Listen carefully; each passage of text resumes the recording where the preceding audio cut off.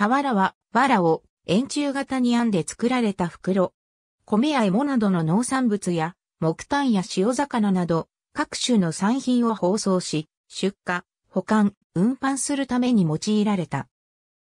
俵山の発想のもと、福俵として縁起物にもされる。荷車に乗せられた表病は円柱状の側面にあたる菰と三俵をそれぞれ藁で編み、最後にこれらをつなぎ合わせて作る。三俵とは米俵の底と蓋になる丸い部分。別名三俵帽子、三俵ぼっち。墨俵ではない場合が多い。木炭の一大生産地であった北海道、胆振地方では出荷する木炭を四角い俵詰めにしていた。この場合、俵の素材も等級別に使い分けされており、上級品から蚊や、よし、むしろと区別されていた。稲わらをしごいて揃え、木製の専用の用具を使い、わら縄で向きを交互に、わら束を編んで菰を作る。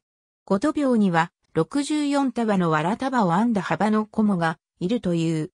わら束の胴中を縛って、踏みつけて円盤状に広げてから端を編み込み、底と蓋になる三俵を作る。菰を丸め、端を編み合わせて、筒にし、端を内側に折り込んで、三俵を縫い込んで底を作る。中に定量の米を詰める。三俵で蓋をする。